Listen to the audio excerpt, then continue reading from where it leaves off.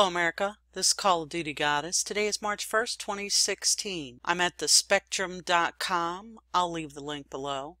There's a short video here about Lavoy Finicum and the Malheur Wildlife Refuge and how it was left and how the deception of the media is taking place. And I've been looking into the media deception here, as you know, for some time, just in Harney County there. And I've got to be honest with you. After looking at the hateful, the mean, the outrageous, deceptive things that these people in the media do, you know, after a while of looking at it, I just have to take a break from it. It's so outrageous. The audacity of these people, the meanness, the horrificness of what they are doing is just beyond me. And, you know, after researching just the Oregonian and the people that work there and what they've done and put on social media, trying to get people to spy on Sheriff Palmer and other things like that, is just amazing. And after seeing that after a while, it's like, oh my gosh, I feel like I'm jumping into a puddle of mud and I need to get out and just take a long hot shower after looking at what these people do. So it's refreshing when the spectrum gives a fresh, new perspective on the reality of the situation there at Malheur Wildlife Refuge. Well, I've babbled on enough. And without further ado, I'll let you hear from uh, Lavoy Finicum's brother. Andy Andrews is a, a very positive author, uh, well loved by his readers, and he usually writes, writes inspirational stories about, you know, the greatness of people in this country and around the world, and, um, and, and greatness in history. But he wrote a book entitled How to Kill 11 Million People, which is a very ominous title coming from such an author. But essentially what the book is about, it's about a 15, 20 minute read about how the people of Germany allowed 11 million, 11 million of their citizens to be killed. The answer was simple, is you lie to them. And uh, what I want to say today is, uh, people of America, your government's lying to you. And how do I know?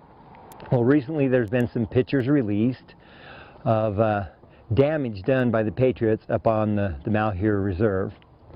And the, the millions and millions of dollars, I think somewhere around $6 million worth of damage that they say was caused there. And uh, I'm here to tell you it's not true.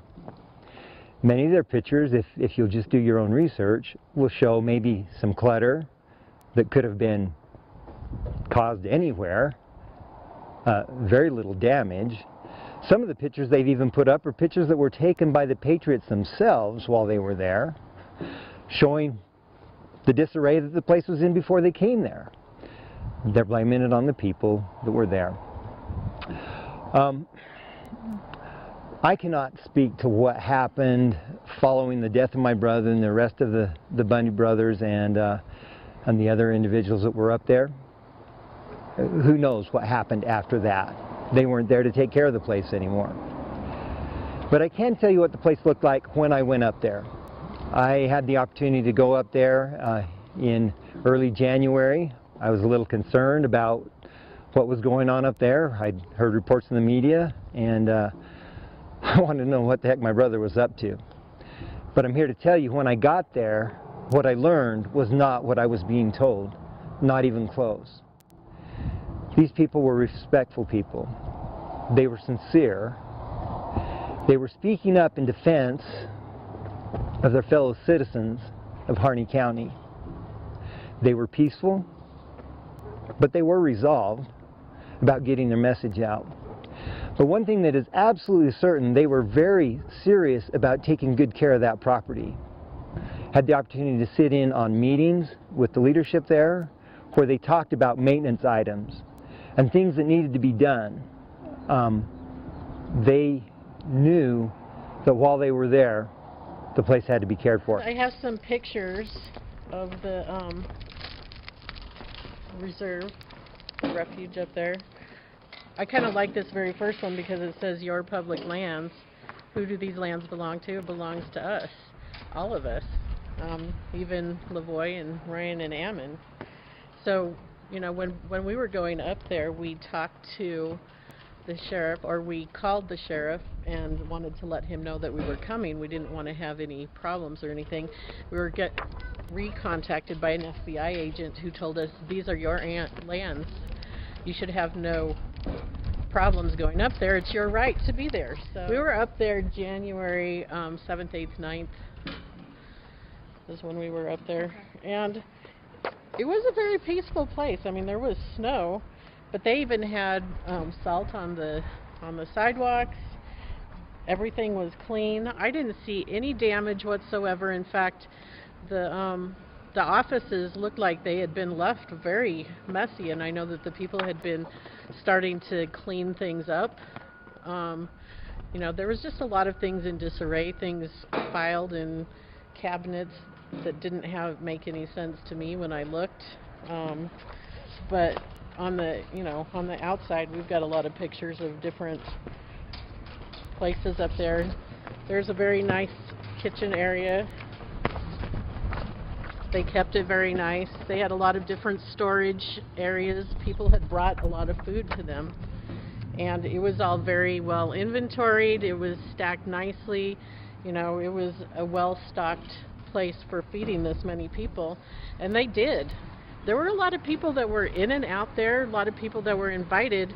And um, they just came in to talk to people. You know, it was so peaceful. We could walk through talk to people, say, hey, it was nothing that was scary at all. There were people that were armed, but I don't believe that I saw anything that was out of the ordinary. It didn't seem strange or scary to me.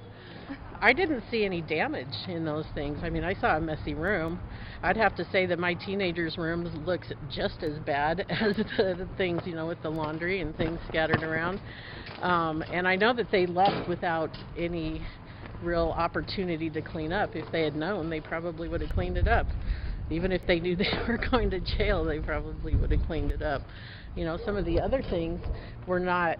I, I laughed about the thing with the the alcohol under the couch cushions.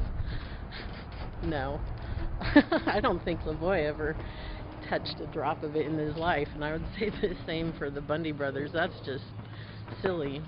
I'm curious about some government accountability, how they think they can spend 11 or $6 million of our money for something that I'm confident could have been cleaned up with a dozen volunteers in a matter of a day, maybe a half a day. So I think we need to wake up a little bit and pay attention to what we're being told. We need to do our research. And uh, we need to be willing to speak up in defense of our neighbors. I don't know everybody that's been arrested, but I do know my brother, who will have no chance for due process. And I do know Ryan and Ammon, and they are strong-willed men, but they are also gentle and kind men, and men filled with love in their hearts for their fellow Americans and for freedom. Now, I don't know how honest the Spectrum is on everything, but I thought that was pretty honest and fair reporting. This is Call of Duty Goddess signing off, and as always, I've got your six.